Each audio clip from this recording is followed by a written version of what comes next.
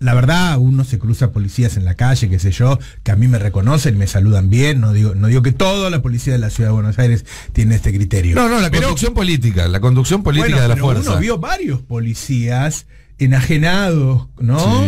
Contra Quisilós, contra Cuervo Larroque, contra Máximo. El video, yo hablé con Máximo, la verdad, y me contó todo lo que había ocurrido. De todo le hicieron. Lo golpearon, le tiraron gas pimienta. Ayer acá, este, Luana Bolnovi contó que la agarraban de los pelos y la tiraban al suelo. Eso pasó, la titular del PAME. Quiere decir que hay hay una especie ahí, o por lo menos un grupo de esa policía, que es un grupo armado antiperonista, manejado por estos locos, y escuchamos, escuchémosla ahora, Patricia Bullrich, que se pelean entre ellos. Esto es un polvorín, esto es un peligro. A ver.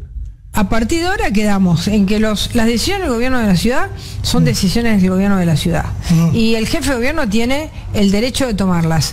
Si quiere apoyo político del resto de la coalición, en este caso un apoyo político, en mi caso eh, yo lo explicité y lo dije, eh, si me cambian eh, las reglas de juego, no, porque una cosa es un comunicado que explica claramente que, vamos a tener una posición clara y firme de no regalarle a, Cristina la centralidad de la calle y otra cosa es lo que terminó pasando. Pero esto quedó saldado. La información que tengo es que Horacio no estaba para nada contento con, el con estos comentarios puros que vos hiciste. No, no, no, no, no, no. no, no, para nada contento. bueno, ahí está diciéndole, recordemos que la presidenta del PRO, recordemos que la presidenta del PRO, ¿eh? la presidenta del partido le está diciendo, si vos querés nuestro apoyo, tenés que ser muy duro en las calles. Tenés que ser muy duro en las calles. O sea, esta policía eh, que en buena parte, por lo menos las demostraciones que dieron ahí, repito, repito, agresiones contra Axel, Kicillof contra Cuervo, La Roque contra Máximo, Kirre contra Albana, volumen muy bien identificado, diciendo este no es más el presidente del bloque. Este tiene fuego, este tiene eh, fuego. Este tiene fuego. Digo, eso, esos locos están en manos de estos locos. Escuchémosla de nuevo a Bullrich en otro comentario. A partir de ahora hemos decidido dar por cerrado este, este hecho en concreto y hemos decidido también que eh, cuando el gobierno de la Ciudad de Buenos Aires toma previas consultas, como fue en este caso, previas consultas a, todos nosotros respecto al apoyo que necesita, eh, debe de mantener la posición tomada. Eh, en caso contrario, lo que tiene que hacer el gobierno de la ciudad es simplemente no, no preguntar y de esa manera podrá tener la decisión y hacerse cargo de las decisiones que toma eh, y entonces en consecuencia las decisiones serán su decisión y no la decisión de todos. Esto es muy interesante porque esto es la salida del restaurante. Sí. Esto es, se supone que dos minutos antes habían firmado la paz. Sí, y habían quedado que la única que iba a hablar era María Eugenia Vidal. Yo lo que digo es que estamos todos en peligros si esta gente está a cargo de una fuerza policial, obviamente armada, que tiene esas prácticas, que entra a una manifestación este, escondido en una ambulancia, que deja piedras para que la gente se tire, es decir, que, está fuera de la ley, que está fuera del marco legal, en manos de, de estas personas. Sí, y, además muy curiosa la concepción de cómo tiene que funcionar el gobierno porteño de Bullrich, ¿no? Como si. Como si. O sea, uno entiende que la reta representa un partido y por eso está bien que consulte con su partido qué hacer, qué no hacer. De la misma manera, nosotros le pedíamos a Alberto Fernández que consulte con Cristina qué hacer, qué no hacer. Sería hipócrita, digamos, eh, quejarse porque la reta ahora consulta con Bullrich. Pero eso de, si no vas a hacer lo que yo te digo, entonces ni me consultes. Mm. ¿Quién es Bullrich? Digo, más allá de ser parte de un partido político, la presidenta del partido político que, gobierna. Los porteños eh, votaron, votamos, la mayoría eligió a la reta y en función de tal él ejerce como, como jefe de gobierno de manera, digamos, legítima, más allá de que algunas de sus decisiones, en todo caso, sean ilegales y, tengan que ser eh, investigadas. Pero ese planteo de si vas a venir a consultarnos, después tenés que hacer lo que hacemos, decimos nosotros. Eh, si Cristina dijera una cosa por el estilo sobre Alberto, imagínense el quilombo de esa Ahora, ¿qué, qué cuestión trágica que los tipos intenten resolver quién es el candidato a presidente según quién le pega o quién reprime más al, al, al, bueno, claramente están trabajando sobre el sentimiento antiperonista que trabajaron en los medios hace muchos años. Sí, ¿volvieron a Morales Solá hoy? salió a decirle, muchachos, no es por ahí, ¿eh? dejen de pelearse que no van a ganar los peronistas de nuevo. No, la verdad que es trágico. Y además con este, con esto que te intentan envolver, que eh, la violencia está del otro lado, ¿no? Además, las dos cosas al mismo tiempo te están diciendo. Él no es lo suficiente. Los violentos son ellos y hay que reprimirlos. Viste que empezaron siendo cuatro heridos. Después la reta mostró dos. Uno de los cuales tenía una curita acá en el cuello, no sé qué le había pasado, porque aparte es difícil saber cómo, vas a herir si son Robocop. Claro, aparte cómo los hirieron nosotros con, con la pegarle y tienen cosas, los huevos, la rodilla, la cabeza. ¿Cómo, ¿Cómo se puede lastimar Aparte, ¿Cómo? Con los puños. ¿Cómo los hirieron? Y, y después ahora están hablando de 20. Atacan a una persona sola. Imagínense, todos estos Robocop rodeando a Luana Volnovich. Solita su alma, agarrándola del pelo, los tipos. Con una hebilla. Porque se preparan para una guerra, ¿no? Se, se arman con todas esas cosas como si fueran a pelear con otra persona que está igual. Claro. ¿No? Y entre cinco la cobardía que tenés que tener, el nivel de cobardía que tenés que tener en la cabeza para entre 4 o 5 vestidos de Robocop pegarle a una mujer. Cada vez que intervienen en una protesta pública aparece una foto de ellos tirándole gas a una viejita aplaudiendo, pasándole encima con una moto un jubilado, digo, cada vez que sucede, cada vez que intervienen, no hay una sola vez que intervengan y que no tengan una acción Porque de este no es parte del forcejeo no es un error, es parte de lo planeado, es parte de la táctica de, que tienen para desplegarse. Eh, a mí también igual me llama la atención algo. Si ahora el peronismo decidiera dejar las calles, bueno, ya está. desistimos y que esta gente armada, de esa manera, enloquecida, nos haga lo que quiera. De ahí en más. te, digo que el uso de la, de la policía para dirimir cuestiones políticas es como el uso de los militares para discutir proyectos de país, ¿no? Modelo de país. este, a mí me parece lamentable. Me, hizo acordar mucho las escenas de reforma previsional. ¿Se acuerdan? Reforma jubilatoria, represión a la plaza de los dos congresos, este, mujeres que eran manoseadas por la policía, viejitos que eran empujados. Pero armaron el relato de las 14 toneladas de piedra y lo sostiene cualquier todo lo, repite. Quizás, quizás saben que eran 14 toneladas porque les pusieron ellos. Porque las llevan ellos. Sí, claro. a mí, digo, el, cinismo eh, está, es algo presente eh, en el PRO. Macri construyó en base a eso buena parte de su presidencia. Decir una cosa, hacer otra. Ahora, en los últimos días llegaron a un nivel de por la inmediatez entre una cosa y la otra y por la por el giro de 180 grados que dan que se la pasan diciendo que, por ejemplo, el, el kirchnerismo no acata la justicia, está en contra de la justicia, y en cuanto le llega un fallo que no les gusta, salen a decir que no lo van a acatar. Después igual lo acatan, porque anoche no hay un solo policía, y no es, no es la reta. Ah. Pero lo que sale a decir eh, de Pico es no lo vamos a acatar. Em, hablan de, violencia y, la violencia la llevan ellos. Digo, hay un nivel de disociación entre el discurso y la práctica que ya está llegando a, un punto casi hasta te diría eh, patológico. Es muy difícil eh, tratar de encontrar algo. Es muy difícil pensar que alguien pueda hacerlo de buena fe. Digamos, ya es tan distinta la práctica del discurso que cada vez cuesta más pensar, bueno, quizás hay, hay dirigentes, hay militantes que realmente piensan así y, y, creen en lo que están diciendo, porque, porque es demasiado evidente. Y, Yo creo que si vos como dirigente sos mandado por un papanata como Johnny Viale, por los loquitos que tiene TN al aire, si esos son tus jefes, porque los jefes son los medios, y claro, vos vas a hacer un desastre, vos vas a decir cualquier pavada.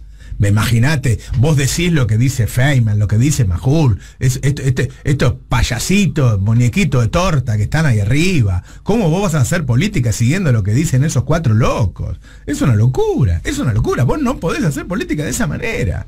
De ninguna manera. Porque esa gente los ponen los dueños de los medios para hacer ficción, para que mucha gente te vea, porque es más entretenido escuchar a, esto, parecen a Boticostelo, que ver un noticiero donde te muestran una placa o qué sé yo, ¿no es cierto? Donde se trabaja.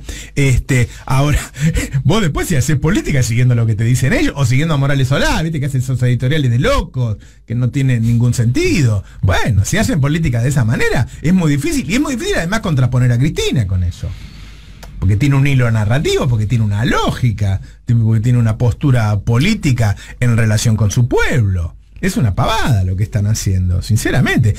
Y estamos hablando de un Larreta que ganaba caminando las elecciones próximas. Que ganaba caminando por el pésimo momento, por la inflación, por la caída de los ingresos y qué sé yo. el tipo se deja guiar, se deja extorsionar, digámoslo. Sí, sí, claro.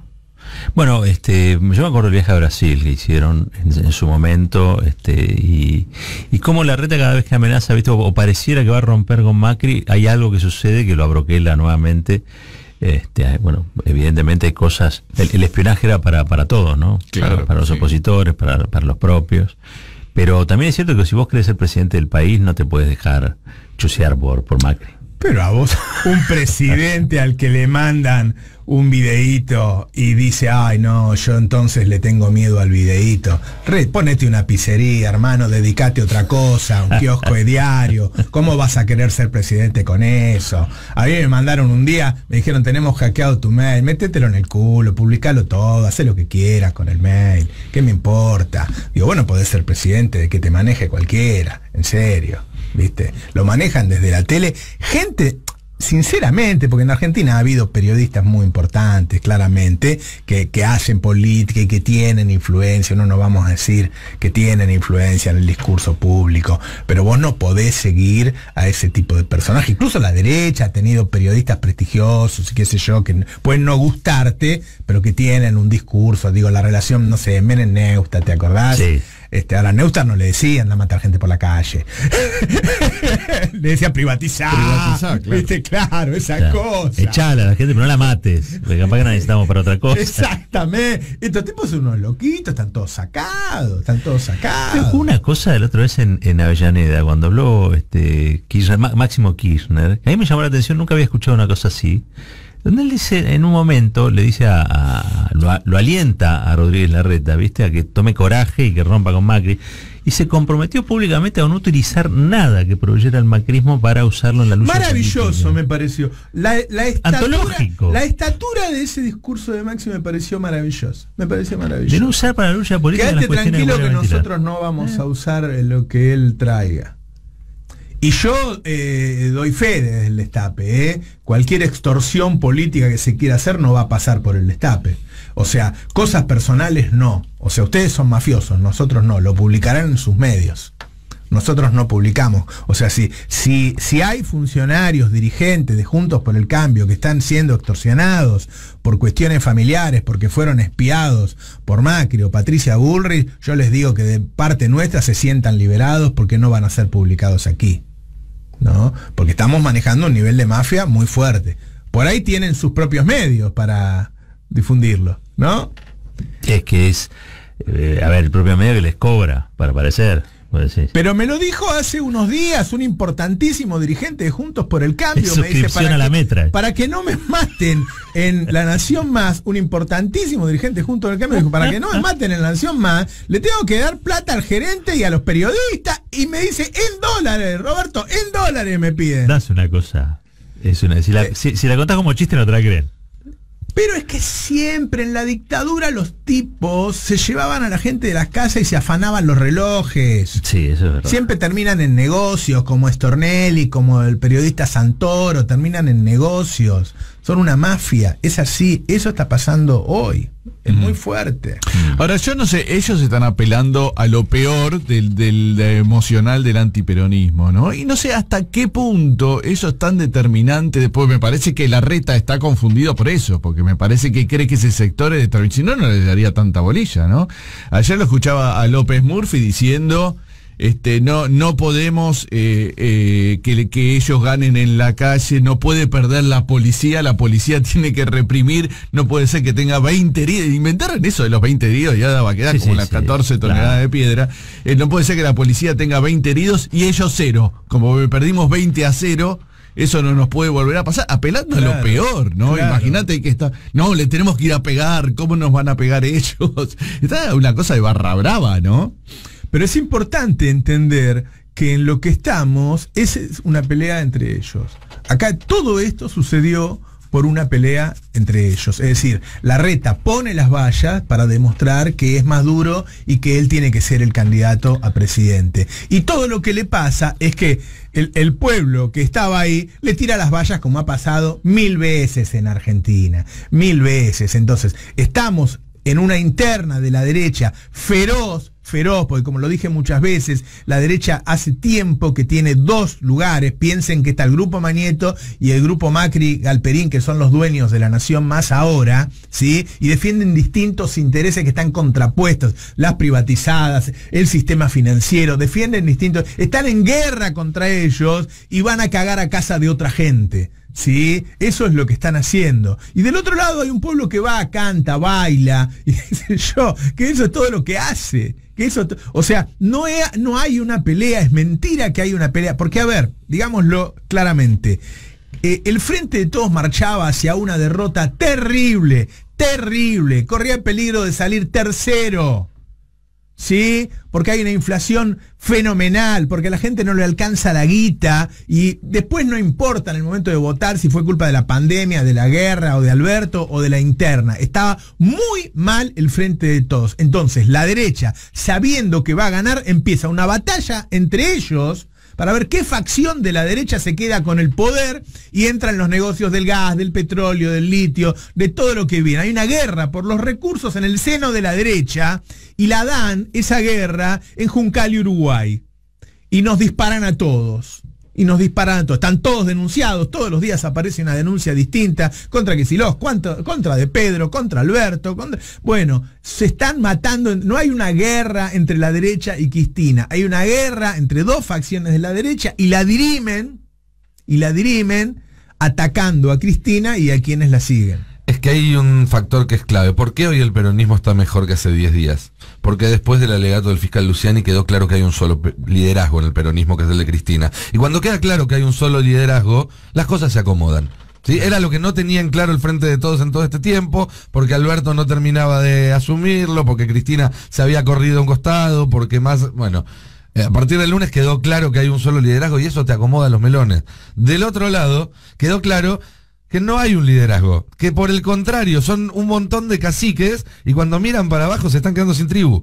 Eh, y ese creo que es el problema más grande que, que, tiene la oposición en este momento. Imagínense lo que es la situación de que hay un canal que todos sabemos que es el canal del PRO y ese canal del PRO, así como el jefe extorsiona con videos y audios, tengo esto de voz y qué sé yo, hay un canal que extorsiona por plata y en el medio hay periodistas extorsionando, llevándose plata. Este nivel de locura de la derecha que hemos visto tantas veces en Argentina está presente hoy.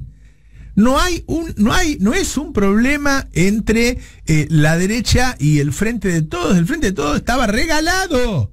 Estábamos pensando que se podía caer en dos o tres semanas, digámoslo.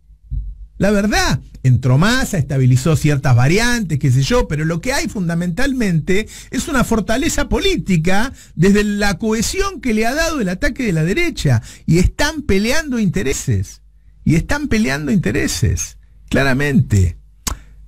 Hay que decir también que Cristina ha demostrado en los últimos días una habilidad política que, que está muy por arriba de, de, los rústicos que son ellos en este momento. Déjame contar una cosita de ayer. Vi el momento en el que reúne a los diputados y los senadores este, y Cristina les da una misión. El que conduce, si no da misión, no conduce. Y le junta le da una misión. Claro. A tipos que quizá venían, porque había todo, gente que venía del Frente Renovador, otros que eran eh, anticristinistas en un momento, pero ahora somos el peronismo, ¿no? Y ella asume ese, ese papel y le da la, la misión, los orienta, dice, este es el poder legislativo, ustedes son representantes del pueblo, nosotros es este, enfrente tenemos tal cosa. Es muy, es muy eh, importante definir ¿qué tenés enfrente cuando vos querés pelear, digamos? ¿No? ¿Contra qué vamos a pelear? No, no, bueno, o hasta para jugar al fútbol, mira, los de la camiseta roja son los otros, nosotros somos la camiseta blanca. Bueno, en esto a mí me pareció que Cristina ayer se, se tomaba el bastón de, de, si se quiere, de conducción política, digamos, del espacio. ¿no? Y los dirigentes del peronismo que están acostumbrados a la calle. Porque cuando yo lo veo llegar a Kisilov, que era una batalla, Sí, eso, sí, sí, sí. y el tipo poniéndole el cuerpo, y ahí es cuando se abre. Y ahí, y ahí es cuando, y ahí es cuando caen las vallas, digo, la puta. Y ahora cuando me entero lo que le hacen a Luana, eh, nuestra historia de mujeres que van al frente, que estamos llenos en nuestra historia, digo, bueno, el peronismo no solo tiene la, capacidad de que la gente salga a las calles, sino que son dirigentes que se la bancan en la calle. Porque hay que salir, ¿eh? Hay que salir. Lo podía haber mirado por TV. ¿Viste?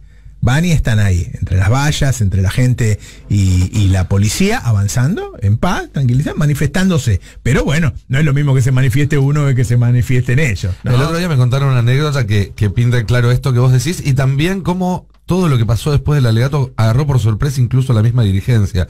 Un intendente de los más cercanos a Máximo Kirchner en el conurbano bonaerense, muy importante, que terminó de ver en su despacho el alegato de, de Luciani y tenía en agenda una reunión en La Plata para organizar un congreso de alguna de estas ONGs internacionales que cada tanto eh, arman actividades en la Argentina, y agarró su auto oficial y encaró para La Plata para ir a esa reunión absolutamente rutinaria. Y cuando estaba llegando, vio- escuchó en la radio y, y le pasaron por la televisión los videos de lo que estaba pasando, y dio media vuelta y encaró para Recoleta.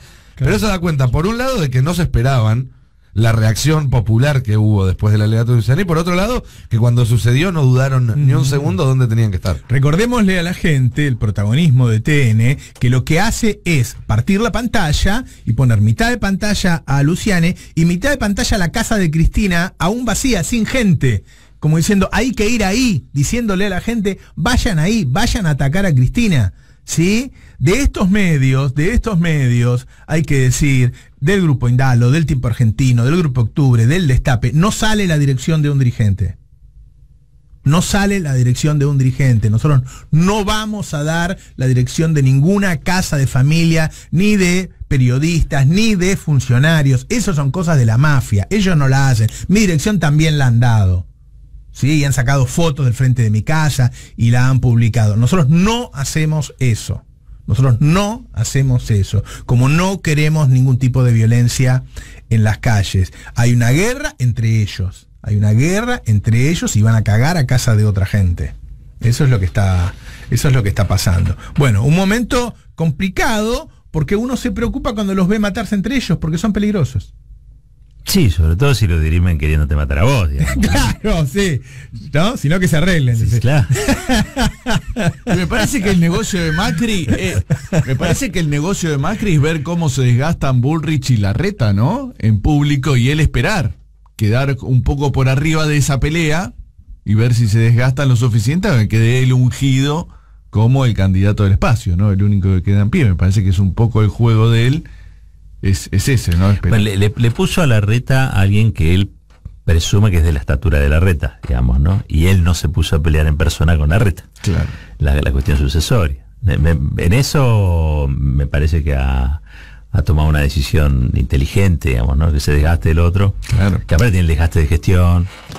Eh, es cierto que él está convencido que, que le hace falta un segundo tiempo y que viene por más. Es, es bastante mesiánico si vos pensás el, el pensamiento de Macri ¿eh? en relación a sí mismo. Cuando vos lo escuchás, hay que tener mucho mesianismo en la cabeza para creer que vos tenés algo para darle a esta sociedad después de todo el daño que hiciste. ¿no? Bueno, ayer de- eh, en medio de todo el quilombo que está viviendo el país, cuando entraba este almuerzo, la única pregunta de la prensa que respondió es si era penal o no el de Boca. El domingo Ah, pasado. Habla de un tipo que o se ve muy afuera de todo o efectivamente está muy afuera de todo. Sí, está tronado. No, yo creo que Pero le hablaba de fútbol a Putin, a Merkel, a todo. la Bueno, A fútbol. Xi Jinping le mostró el gol que le hizo al Liverpool. Perdón que me ría. Esto es dramático, pero la Espera, verdad. espera, recordémosle, porque por ahí el público lo decís muy rápido. El, Recordemos el Liverpool es el, Liverpool, equipo en el que exacto. juegan el fiscal Luciani, uno de los jueces que tiene que decidir si Cristina es culpable o no, y también uno de los jueces de los tribunales de alzada que van a terminar decidiendo Sobre este caso y que juegan al fútbol en la cancha de de, Macri. Ellos decían, bueno, pero que esté en la, sea en la cancha de Macri no significa que lo conozcan a Macri. Bueno, Macri ¿Se acuerdan cuando le mostró un videito de un gol a Xi Jinping, al presidente chino? El video, el gol ese se lo había metido al Liverpool, al equipo de Borinsky, de Luciano. Se supone que, no, sé si estaba chequeado, pero se supone que el, arquero que se tiró un segundo tarde eh, para que para que Macri hiciera el gol era eh, uno de los jueces, ¿no? Caramba. Era uno. Qué coincidencia. Por eso Cristina dijo el arquero del Liverpool la otra vez cuando cuando estaba haciendo a quién le tocaba resolver esa causa en un Nosotros estamos este hablando en serio de algo que ellos parece que hablaran en joda todo el tiempo. ¿No? Y hay distintas realidades. Y a mí me pasa a veces cuando hablo con gente eh, conocida o un vecino, qué sé yo, que tiene la creencia de ellos, y parece que estuviéramos hablando de dos realidades distintas.